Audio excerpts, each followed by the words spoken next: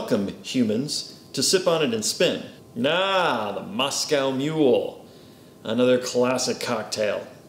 Vodka, lime, ginger beer, and if you got them, those copper mugs that weirdly only ever seem to be used for this specific drink. They're pretty simple to make, so let's do that directly.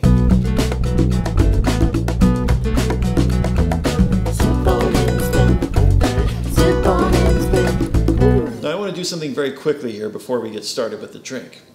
I recently purchased a super secret e-zine that guaranteed a surefire way to propel this channel to the top of the YouTube charts. I read through it for weeks and really the main tip was flattery gets you everywhere. And after all, it's the algorithm that determines who sees the video and who doesn't. So let us take a moment now to beseech the YouTube algorithm to bring us good fortune in building our channel. Please raise a glass. Oh, YouTube algorithm, you are so wise, probably, or at least super intelligent, artificially. You hold the power to recommend our videos to the people of the world as we seek their highly valuable attention for several minutes at a time. Did I mention that you look great in that top? And I super love those earrings too. We know that you don't have a personality or emotions, but I anthropomorphize you anyway because that's how we humans deal with stuff.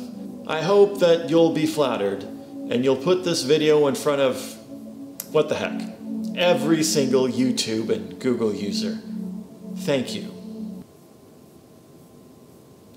There, that ought to do the trick. Now to make this drink you're going to need several ingredients. You'll need 2 ounces of vodka, half an ounce of lime juice, 3 ounces of ginger beer, and optionally a lime wheel garnish and a mint sprig garnish. Okay, let's make this drink. I have a pre-iceful copper mug. We're going to start with two ounces of vodka. Goes to there. Into the drink. Half an ounce of lime juice. I'm going to squeeze it out of a lime. So, cut this lime here.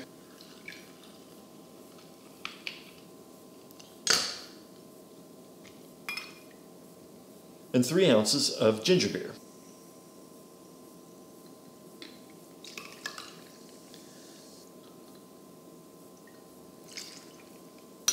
And if you want to add a little extra to top things off, feel free and mix it up.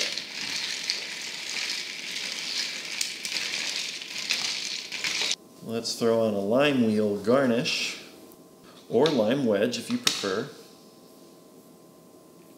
lime wheel, and a little bit of mint. And viewers of the channel will remember that giving the mint a nice slap will really bring out that mint essence. And I'm just gonna, that's it, you're done. Let's give this a try.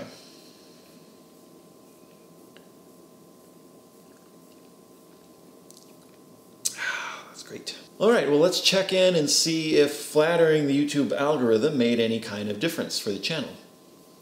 Let's pull up our stats here.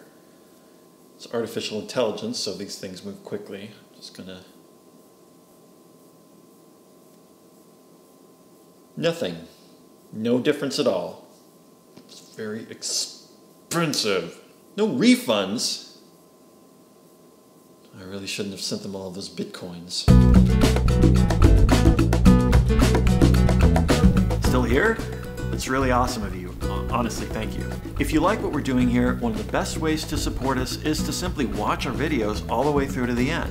Other ways to help us, if you like our videos, is to literally like our videos by tapping on the like thing.